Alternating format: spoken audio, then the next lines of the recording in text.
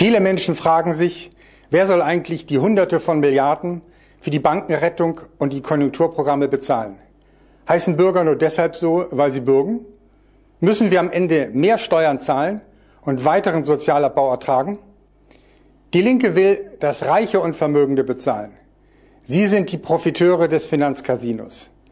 Wir fordern die Millionärsteuer. Mit fünf Prozent soll Privatvermögen oberhalb einer Million Euro besteuert werden. Das bringt mindestens 80 Milliarden Euro ein. Jedes Jahr. Mit den weiteren Steuererhöhungen für Reiche gibt es insgesamt 160 Milliarden Euro zusätzliche Staatseinnahmen. In den 30er Jahren hat US-Präsident Roosevelt mit dem New Deal die US-Wirtschaft wieder auf Trab gebracht. Bezahlen mussten die Reichen. Großverdiener zahlten fast 80 Prozent Einkommensteuer. Für große Erbschaften wurde ebenso viel fällig. Bislang ist niemand, auch kein Obama, diesem Vorbild Roosevelts gefolgt. Nur wir, nur die Linke will die Profiteure zur Kasse bitten.